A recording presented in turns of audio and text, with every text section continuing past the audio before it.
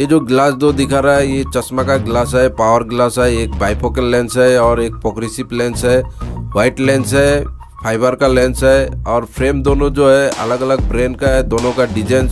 almost एक ही है अगर आप लोग ये दोनों फ्रेम का लेंस का प्राइस जानना है तो डिस्क्रिप्शन में लिंक है आप लोग देख सकता है अगर लॉन्ग वीडियो नहीं देखा है तो देख लीजिएगा आप लोग को प्राइस का थोड़ा बहुत जानकारी मिल जाएगा दोस्तों